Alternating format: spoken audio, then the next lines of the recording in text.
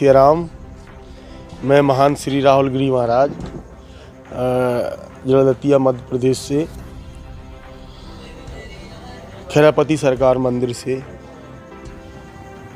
हनुमान जी की दया दृष्टि है कि आज गाय सेवा चल रही है यहाँ और चलती ही रहेगी।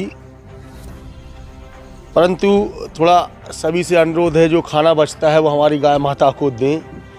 नाली या कूड़े में ना डालें, जिससे हमारी गाय माता अपना आहार पूरा कर सके।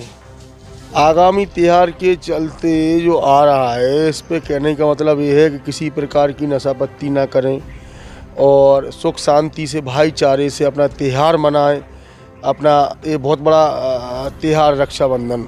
जिसको रक्षाबंधन कहा है, ये रक्षाबंधन जो है जो हाथ में कलाई में राखी बहन बांधती है, रक्षक के लिए बांधती है कि मेरे भाई को बारह महीने तक कुछ ना हो पाए। तो अगला त्यौहार मिले, मुझे सुख शांति से मिले। समझ रहे हो?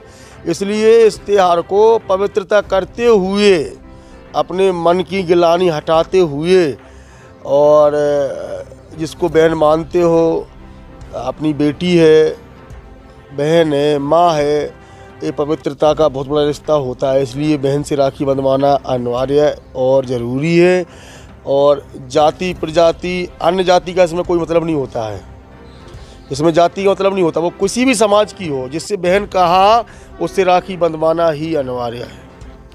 महाराज जी, देखा जाए, आगामी में मध्य प्रदेश के चुनाव आसपास डोल रहे हैं, कुछ समय में मध्य प्रदेश के चुनाव हैं। पूरे में बिजुल मचा हुआ है, जनता के बीच प्रत्याशी जा रहे हैं तो जनता को कैसे प्रत्याशी उनको चुनना चाहिए और जनता के देखो, ये जनता के ऊपर निर्भर है।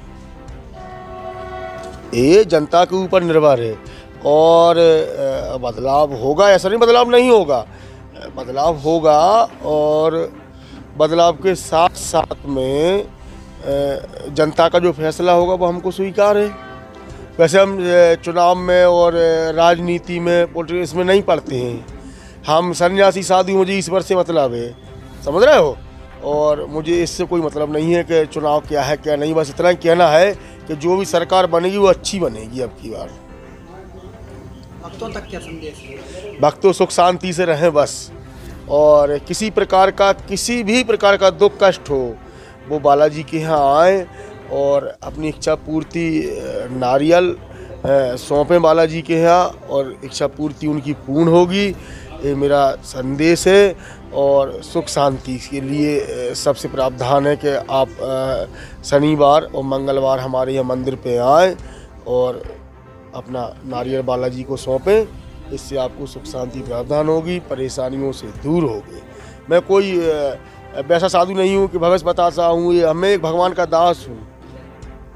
मैं ईश्वर का एक दास हूँ। मैं आपकी अर्जी को स्वीकार भगवान के यहाँ करवा सकता हूँ। मगर मैं आपका भविष्य नहीं बदल सकता हूँ। आगे इच्छा प्रभु की, जो इच्छा कर मन माही, हरी कृपा कछु दुर्लभ नहीं